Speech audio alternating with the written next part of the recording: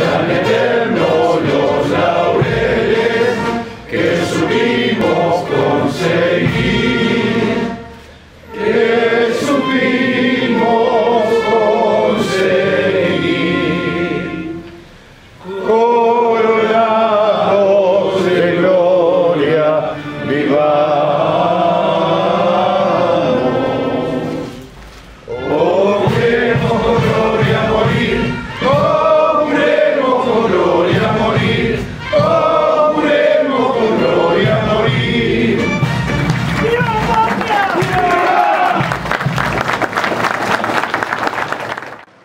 Muchos es un día muy especial.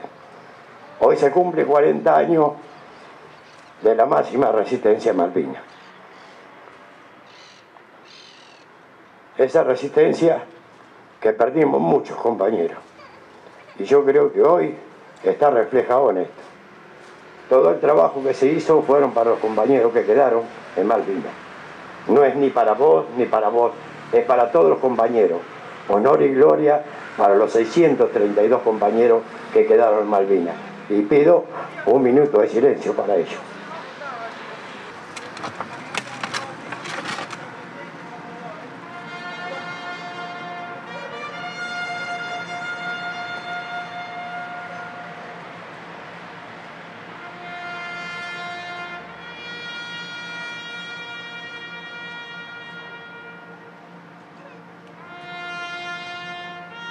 Yo, en esta fecha que es muy especial para mí, me olvidaba de agradecer a mi mujer, que me aguanta tantas locuras de levantarme con Malvinas y acostarme con Malvinas.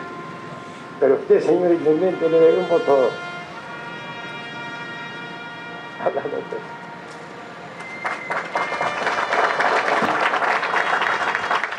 Bueno, esto como siempre, levanto la vista y veo a todos nuestros compañeros, los que volvimos, los que regresamos, y pusimos todo un granito de arena para que esto sea posible. Pero siempre digo que la, la mano es una sola, que es de Pablo Petresca. Le agradecemos, Pablo. Gracias por todo lo que hiciste por nosotros. Sin duda es un- una tarde muy especial, muy emotiva. Un 14 de junio de hace 40 años finalizaba uno de los hechos más tristes de nuestra historia. Y digo finalizaba en términos relativos porque Malvinas está dentro nuestro para siempre. Y para que esté para siempre tenemos la responsabilidad de mantener viva la memoria, de homenajear y rendirle honores a nuestros héroes, aquellos que dieron la vida, aquellos que estuvieron dispuestos a dar la vida que están hoy aquí. Hoy es un día sin duda especial, porque una vez más y con hechos concretos podemos dejar un lugar para homenajear, para rendir honores, para conocer más de los valores de tremendos hombres y mujeres que dieron todo por la bandera argentina, que estuvieron dispuestos a darlo todo, la vida misma. Un lugar más para poder fortalecer nuestra identidad nacional. Hoy estamos concretando un sueño. Y ese sueño, eh, yo voy a contradecir con, con Marcos. No, no, este sueño es de ustedes. Este es un proyecto de ustedes. Esto nació de ustedes y ustedes fueron los que lo ejecutaron. Porque sin duda, sin ese empuje, sin esa garra, sin esa pasión, como bien decía Marcos, levantarse con la causa de Malvinas, dormir con la causa de Malvinas, esto es de ustedes. Esto es de ustedes, muchachos.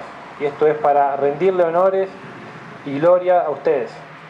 Así que esto es fruto de la pasión, de la garra, de los valores, de la convicción de cada uno de ustedes. Para mí es un orgullo ser parte de esta historia. Todo el equipo de gobierno que bien Marcos nombró, que fue protagonista, pero sin duda a partir de hoy, para mí lo personal estoy cumpliendo un, uno de los pedidos de nuestros veteranos que era de malvinizar. Malvinizar. No rendir honores solamente una fecha, dos fechas o tres fechas al año, sino los 365 días del año. Y acá está.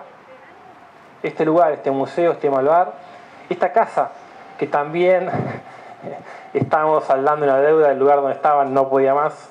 Hoy tendrán una casa digna para estar, para compartir, para seguir creando cosas, para seguir empujándonos a que sigamos malvinizando mucho más a nuestro querido Junín y por supuesto a todo el partido y la región.